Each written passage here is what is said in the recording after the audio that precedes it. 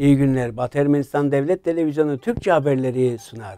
Batı Ermenistan Başbakanı'nın yeni yıl mesajı. Kremlin, Putin-Paşinyan görüşmesinde önemli konular ele alınacak. Hill, Ermenilere uygulanan soykırımın Amerikan tarafından tanınmadığı bir yıl daha geçti. Türkiye Suriye sınırına askeri teçhizat göndermeye devam ediyor. Alman Meclisi raporu, Türkiye Suriye'de işgalci güç. Eser soyguna yeni bir örnek daha.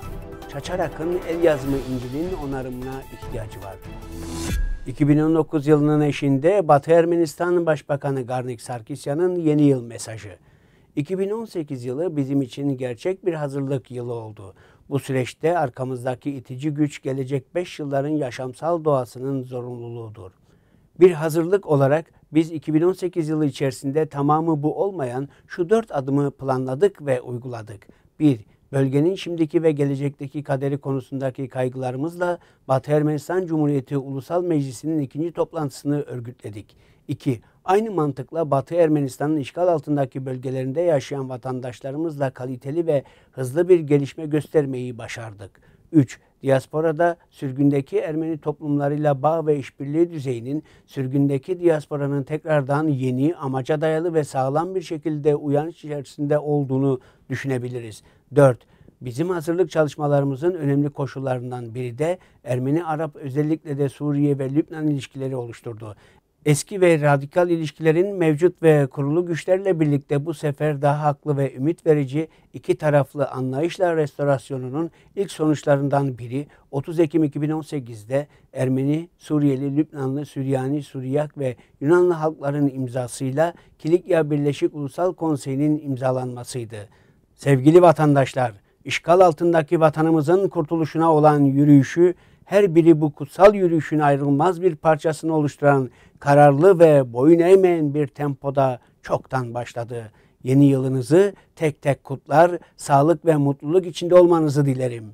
Bu bayram günlerini sevinç ve yüksek bir entuzyazmla kutlayın. Ulusal değerlerimizden miras kalan gelenek ve görenekleri koruyarak birbirinize sevgi ve ışık dağıtın. Tüm bunları gerçekleştirin ve ulusal vatansever geleneklerimizi ve aydınlanmış bilincimizi koruyarak yaşayın ki bir ulus, bir kalp olarak 2018 yılını birlikte uğurluyoruz. Gelecek 5 yıllar içinde ana vatanımız Batı Ermenistan'ın kurtuluşuna giden ışığın yolu hepimizin göz önünde parlamaktadır. Şafak yakında. Kremlin resmi sitesinden edinilen bilgiye göre 28 Aralık'ta bir çalışma ziyareti için Moskova'da olacak olan Ermenistan Cumhuriyeti Başbakan Vekili Nikol Paşinyan, Rusya Federasyonu Devlet Başkanı Vladimir Putin ile görüşecek. Kremlin iki liderin Avrasya bölgesinde faaliyet gösteren entegrasyon kurumlarındaki işbirliği perspektifleri de dahil olmak üzere ikili gündemdeki önemli konuları ele alacağını belirtti. Daha önce Ermenistan Hükümeti Enformasyon ve Halkla İlişkiler Dairesi'nden yapılan açıklamada ikili ve çok yönlü işbirliğine dair gündem konularının ele alınacağı bildirilmişti. Kremlin resmi mesajında 27 Aralık'ta çalışma ziyareti için Moskova'ya gelen Ermenistan Başbakan Vekili Nikol Paşinyan ve Rusya Federasyonu Devlet Başkanı Vladimir Putin bir araya gelecekler. Avrasya bölgesinde faaliyet gösteren entegrasyon kurumlarındaki işbirliği perspektifleri dahil olmak üzere ikili gündemle ilgili önemli konuların ele alınması planlanmaktadır denildi.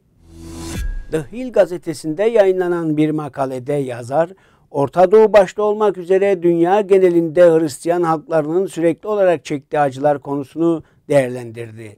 Yazarın aktardığına göre Orta Doğu'daki Hristiyan cemaat mensupları şiddet, gerginlik ve işkence dolu bir dönem yaşamaktalar. Pek çok Hristiyanlar kendi yurdundan ve memleketinden göç etmek zorunda kaldılar. Yazar ayrıca gazetedeki makalesinde Türkiye'ye de değinerek Türkiye masum insanları hapse atmaya devam etmektedir diye yazdı. 1894-1923 yılları arasında üç Türk hükümetleri tarafından planlı bir şekilde Ermenilere karşı gerçekleştirilen soykırım sonrasında şimdi bile kendi öz topraklarında bu zalimlik devam etmektedir. Türkiye'nin tarihiyle henüz yüzleşmediği için bu tahripkar politikasını sadece Ermeni mirasına ve kültürüne karşı değil, diğer uluslara karşı da sürdürdüğünü hatırlatalım. Ankara, Suriye sınırındaki askeri varlığını pekiştirmeye devam ediyor. Kiliste çekilmiş bir videodan görüldüğü gibi gece boyunca tırlar askeri araçları taşıdı. Basına göre tır kuyruğu Kürt kuvvetlerine karşı askeri eylemlerin planlanacağı Suriye'nin Tel Rifat ve Manbiç bölgelerine doğru hareket halindeydi. Suriye'deki Kürt güçlerini Türkler terörist olarak nitelerken Amerika Birleşik Devletleri de buna karşı çıkıyor. ABD silahlı Kürtleri Suriye'de bulunan teröristlere karşı yürütülen mücadelede önemli bir faktör olarak görüyor. Daha önce Türkiye Cumhurbaşkanı Recep Tayyip Erdoğan'ın yaptığı açıklamada Türkiye'nin Kürt Halk Öz Savunma Birliklerine karşı önceden planladığı askeri operasyonları ertelediğini söylediğini hatırlatalım. ABD Başkanı Donald Trump Erdoğan'la yaptığı telefon konuşması sırasında Amerikan güçlerini Suriye'den çekeceğini belirtmişti. Savunma Bakanı James Mattis ise bu karara karşı çıktığından dolayı istifa etmişti. Alman Meclisi uzmanlarının hazırladığı bilirkişi raporu, Türkiye'nin Suriye'deki askeri varlığının uluslararası hukuk açısından işgal kriterlerini taşıdığı tespitinde bulundu. Almanya'da Federal Meclis'in Bilimsel Hizmetler Dairesi tarafından hazırlanan raporda Türkiye, Suriye'de işgalci güç olarak değerlendirildi. Alman haber ajansının verdiği bilgiye göre raporda Türkiye'nin Suriye'nin kuzeyindeki Afrin ile Azez, Elbap ve Cerablus bölgelerindeki askeri varlığı tam olarak incelendiğinde uluslararası hukuk açısından askeri işgal kriterlerini karşılamaktadır ifadesi kullanıldı.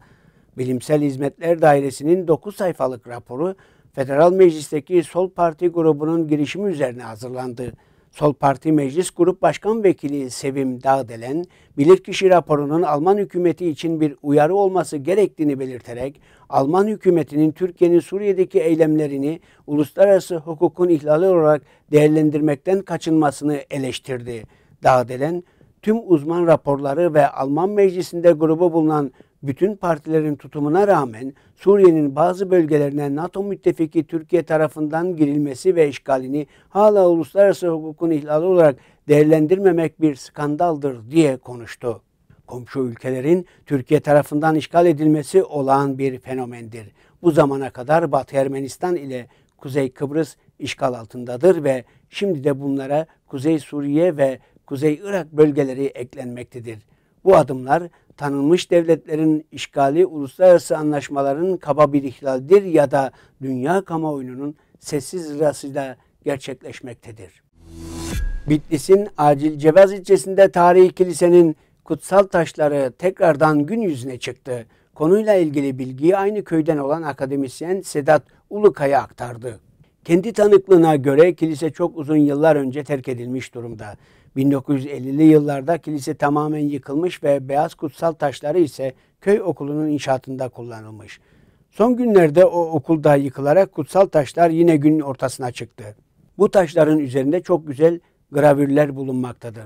Şahite göre kilisenin meyve bahçeleri de bulunuyordu. Yerli halkın dediğine göre bu meyve bahçeleri de hazine avcıları tarafından tahrip edildi. Bugün bu taşlardan bazılarını köy evlerinde görmek mümkün. Ulukaya pek çok kereler yöneticilere bu taşların korunması hakkında başvurularda bulunduğunu söyledi. Fakat başvurularına şimdiye kadar hiçbir yanıt alamadı. Ahalska bölgesinin Ermeni köyü Çaçarak köyünde köyün yerlileri tarafından Batı Ermenistan'dan getirilen 16. yüzyıldan kalma el yazımı İncil korunmaktadır.